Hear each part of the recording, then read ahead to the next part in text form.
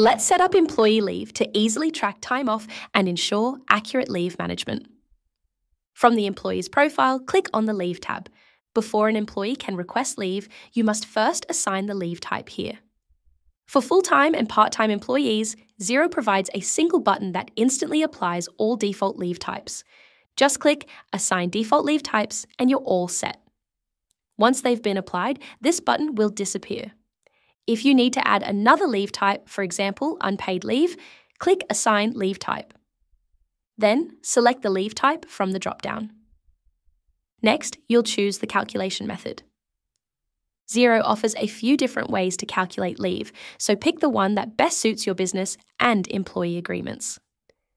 Let's quickly run through the available calculation methods. Fixed amount each period. This is a simple option where you tell Xero a set number of hours the employee is entitled to each year.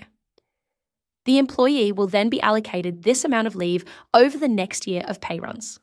For example, if you enter 120 hours and you pay them monthly, they'll accrue 10 hours per pay run. Manually recorded rate. This option gives you full control. Just enter the number of leave hours your employee accrues each time you do a pay run. This is perfect for less straightforward leave agreements. No calculation required. This is for situations where leave doesn't automatically accrue. You can still manually add an amount in the pay run if needed. Based on ordinary earnings. This is a handy option for employees with variable hours, like part time employees. Just enter the annual leave hours for a full time employee, and Xero will automatically calculate the accrual based on the hours they actually worked. If you're adding an existing employee to Xero payroll, they might already have a leave balance from a previous system. Enter that amount here in the opening balance section to ensure everything is up to date in Xero. Finally, you can select if you want this leave type to be paid out when the employee is terminated. Click Save to finish.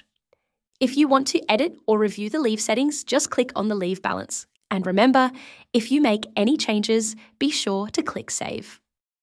Thank you